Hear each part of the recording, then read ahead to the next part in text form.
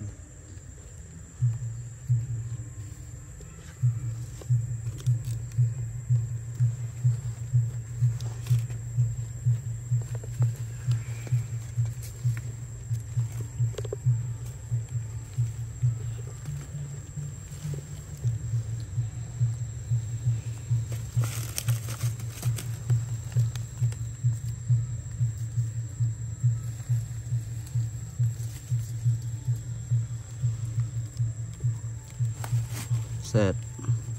ស្លាញ់គេម្នាក់ឯងគាត់ឈឺចាប់ចឹង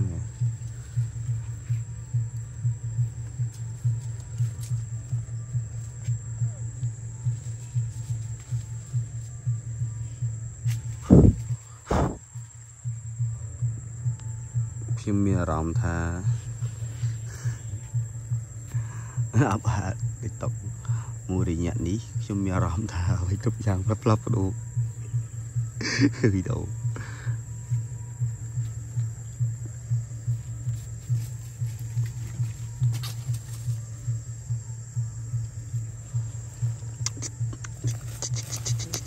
thấy ឡើងហូបបាយសិច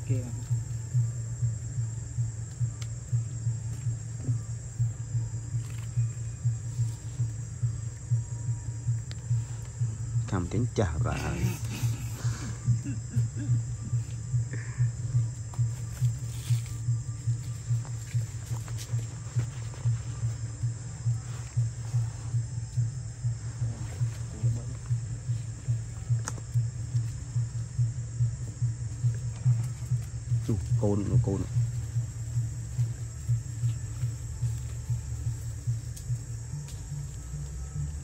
បើវាប្តេកទេ để chơi